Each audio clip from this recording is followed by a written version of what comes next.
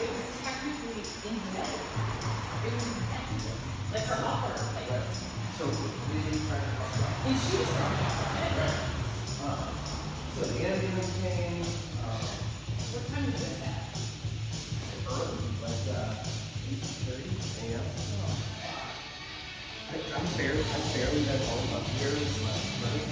It's time.